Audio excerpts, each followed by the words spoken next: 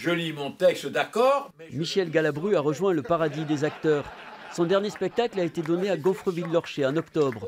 L'occasion de rappeler ses attaches à Vraise. J'ai vécu au Havre, oui, ça j'ai vécu 4 ans au Havre.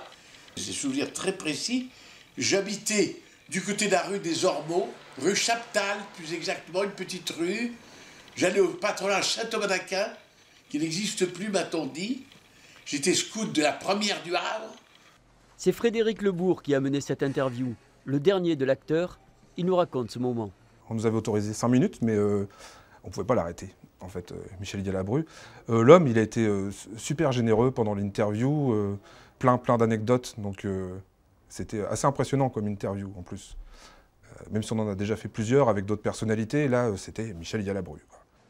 Impressionnant de lucidité aussi quand il évoque son avenir. Les projets, ça me nuise parce que moi, je vais avoir quand même 93 ans. Où c'est la mort, à brève échéance. Bah, et Ou c'est encore des livres et encore des spectacles. on ne sait jamais. On ne sait jamais. On ne sait jamais. Avant d'être directeur du cinéma Le Sirius au Havre, Stéphane Foulogne a produit une pièce avec Michel Galabru. Lui aussi a été marqué par l'homme.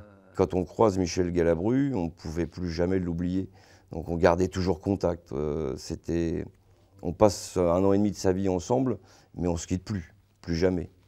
De quoi engranger une foule d'anecdotes et notamment cette scène lorsqu'il tentait de monter dans un minibus. Poussez au cul, sinon ça ne montera pas. Et voilà, c'était ça, Michel. Il nous faisait toujours rire, même dans ce genre de moment. Merci.